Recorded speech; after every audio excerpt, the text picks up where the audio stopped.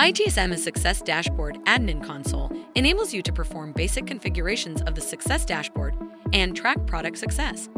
Use the console to learn about the products that are available in the base system and how to configure and customize them to your needs. The homepage reports product performance through the Success Dashboard, the Operational Success Dashboard, and the Benchmarks Dashboard. The Success Dashboard provides you with insights to measure the performance of ServiceNow product implementation using KPIs defined by ServiceNow. The Operational Success Dashboard provides a consolidated view on how well your IT processes are performing in your organization. In benchmarks, you can get an outside perspective on your performance through the Value Matrix or Process Performance Matrix. The Success Dashboard Admin Console homepage also contains several resources you can use to learn more about features and how to use them effectively. The Explore product, helpful resources, and FAQ sections all contain links and resources that provide more information about the product and how to configure the available instrumentation, KPIs, and metrics.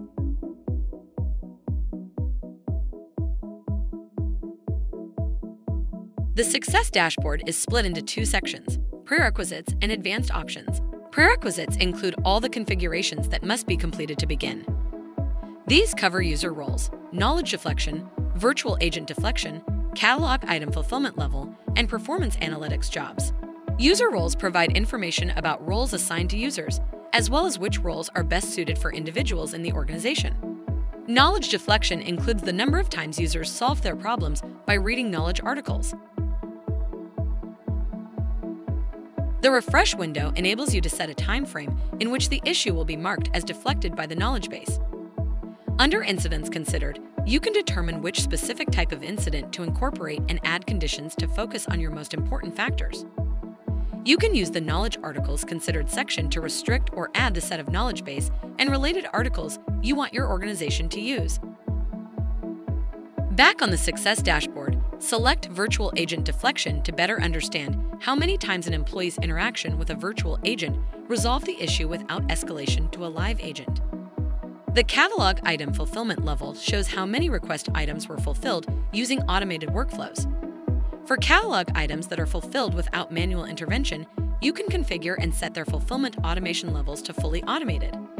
Performance analytics jobs require activation of all PA jobs related to the metrics being collected.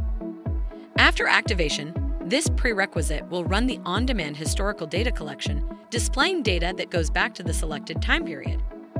Select an item on the list to specify the number of days for data collection. The default value is 60 days, but you can go back as far as two years. Advanced options include system properties and KPIs. System properties enable you to change the dashboard's behavior based on the needs of your organization. This includes any adjustments you need to make to the KPIs on the dashboard. You can also review base system KPIs and configure their properties. When reviewing KPIs, you can add a contributing indicator, edit the indicator registry, add and edit time savings, and add more information. Operational Success provides a consolidated view of the end-to-end -end performance of IT processes implemented in your organization. Under Prerequisites, specify which groups and users can access this feature. Under Configure, you can review and customize tabs and dashboards.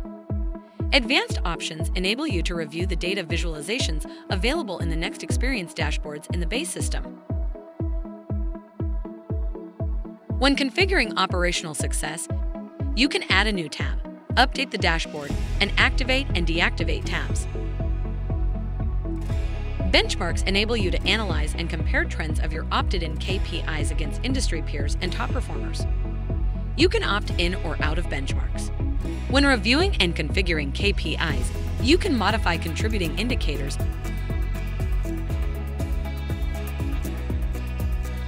and choose which KPIs to include in reports. Use the ITSM Success Dashboard Admin Console to track your organization's metrics and configure them to meet your needs.